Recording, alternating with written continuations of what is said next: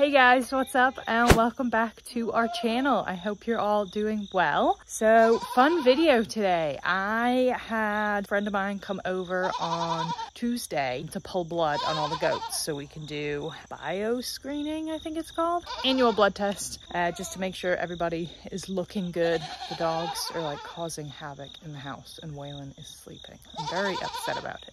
Anyway, so yeah, so we're gonna do all that. Uh, well, we did all that and then we pulled fecals on everybody. So I'm gonna run some fecal tests and show you guys how I do that. Super simple and see who we need to deworm, who we can hold off on. And I'm gonna take some notes so I have an idea of what we're doing. So yeah, uh, let's let's head over to Tuesday and I'll show you guys what we got up to. Okay, so what was supposed to be my very productive afternoon has plummeted into child won't sleep because dogs woke him up as soon as I walked outside. Um, so yeah, so still planning on reading fecals. He's currently, let me just show you what this child is doing. Waylon, it's not a sand pit.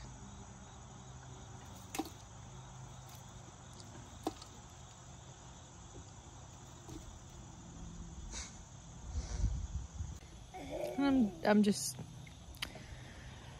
just gonna let it happen because he's not touching me. well, amongst all of the other things that I'm doing today, Raina and Mufasa have been a little funny. They're not just, they're stuck. They bred. So, we got pups coming. Are you guys stuck together? So for those of you that don't know, this is what happens when dogs have bred. They get stuck together. And once his swelling decreases, they or we count we count down breeding day. But we just gotta let them be stuck until that happens. Good job, guys surprises me because I didn't think she was in heat and she might be in a very early heat. So this is probably going to happen a couple more times. Um, but we got puppies coming at Christmas. Back to what the video is actually about. So here is me and my friend Kat. Uh, we used to work in a veterinary clinic together, so we both have a good idea on how to draw blood. And I asked her to come and help me do blood tests on everybody and relatively easy to get fecal samples. You just lube up and go in there and pull out a sample and pop it in a tube. So we pulled blood on everybody. Waylon was there the whole time because he was supposed to be napping but refused to take a nap. So he was just causing chaos and there he is playing with the light and doing his thing. But yeah, this was, this took us about an hour and a half and it was relatively smooth. I'm pretty surprised on how well it went, but Everybody got their blood taken, everybody got their poop done, and Lucy was my biggest concern, and she was actually pretty good. So that's it. So then after that, the whole reason why Kat came over was because we were going to try and trim Pig's tusk. He has one tusk on the side of his face that needs to be trimmed. It's so long. And I got a Dremel so we were like, okay, we're going to flip him over. And as you can see here, Kat is like, okay, so how are we going to do this? And I was super nervous. I've been putting this off for a long time, but see us flip him over. This is quite amusing. Ready? One, two. Good boy. Good boy. Uh, oh, shit. All right. Pig. I know. Hey, hey, hey, hey, hey, hey, hey, hey. All right. I know. I know. It's all right. He's all right. He's all right. Okay. I don't know if he's gonna let me get this.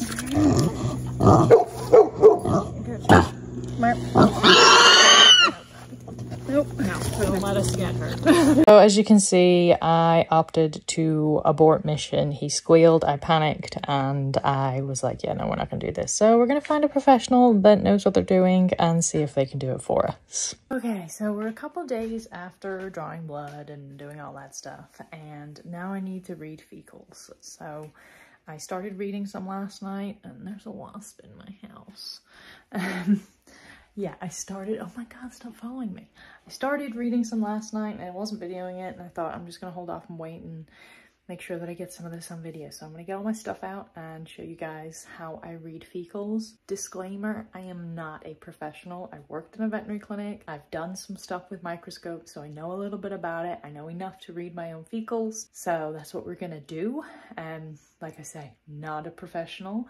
Uh, if you have any questions, feel free to ask me. So yeah, I'm gonna set all my stuff up and show you guys what it is that I do. Waylon is waking up from his nap, so we may get cut short or he may be joining us.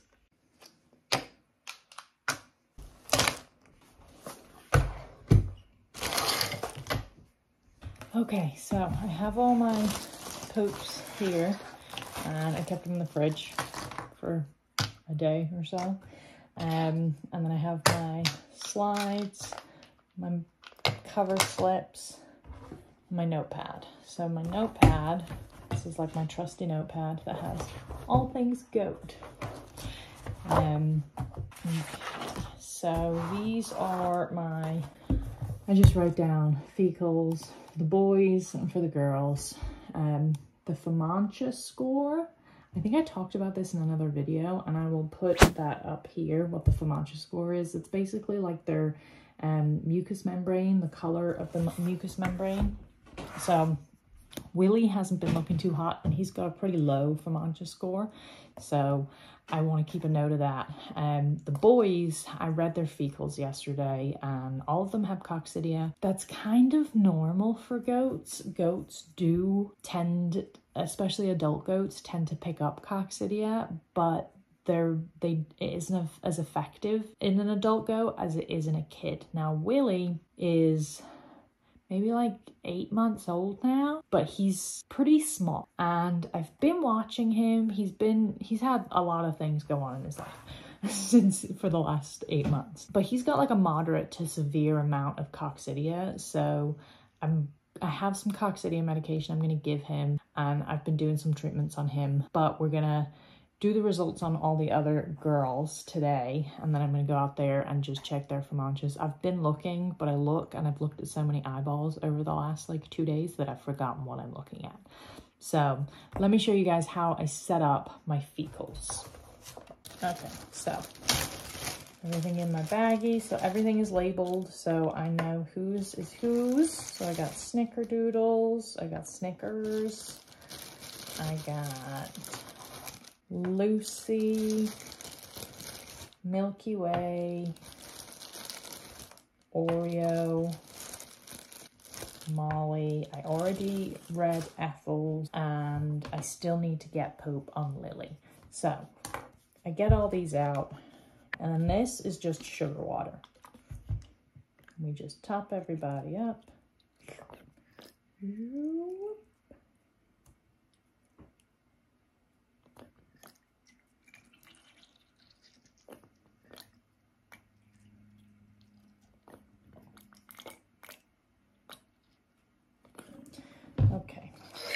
my cover slips. So when I used to work in the veterinary clinic, we would do this, but then we would put them in a centrifuge, which is like a super fast spinny thing.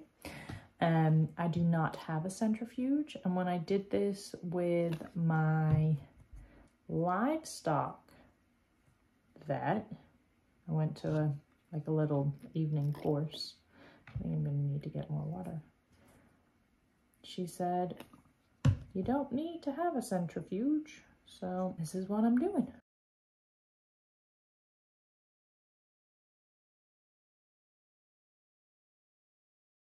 Okay, so now I have all these guys with cover slips on. I'm gonna let them wait 10 minutes. I'm gonna set a timer and then I'm gonna take them over to the microscope and we're gonna look at them. I'm gonna try and show you guys. I'm never really good at this, but I'll try and show you what I'm looking at down the microscope. Okay, so it's been 10 minutes and I am gonna set these up and then look at them with the microscope. Waylon is awake but playing in his room, so we're gonna see how long he stays like that.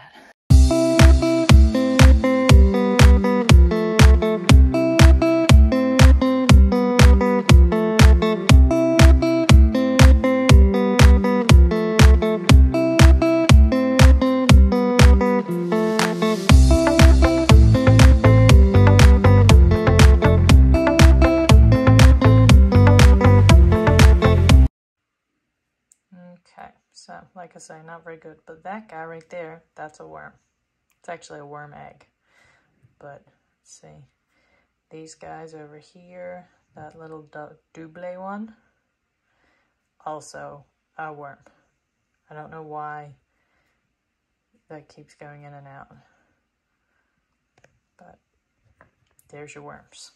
So in order for me to figure out what they are, to me, they look like they may be barber pole, but I'm to zoom in. So at the moment I'm on a 10X and I'm to go to a 40X.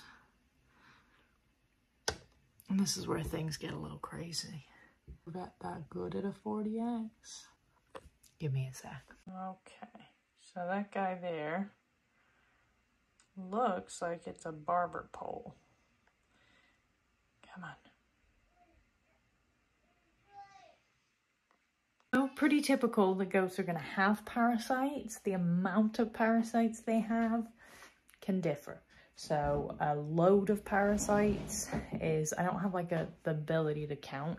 Like, I mean, I do, I just go through and count how many are in there. But I have a little more research to do on that. But I know that there's parasites in there. I'm gonna put down what I think is normal, average, moderate, severe, and then I'm gonna go and check their eye colors and that's gonna give me a better idea of whether I wanna deworm them or hold off for a little bit. Lynn is waking up, so I have to. Hi. Hello. Do you have good sleep? Yeah? You ready to get up? So, forgot where I was at, but looking at Oreo's poop.